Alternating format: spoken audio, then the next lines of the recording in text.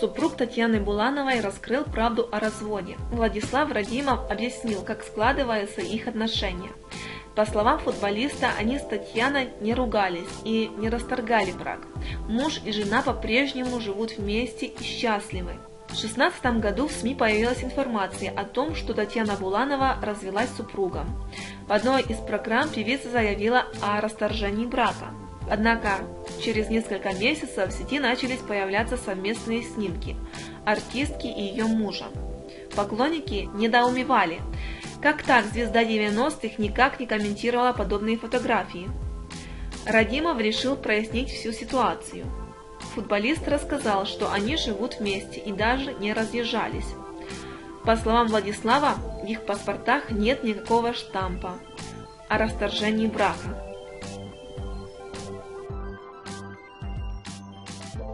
あ。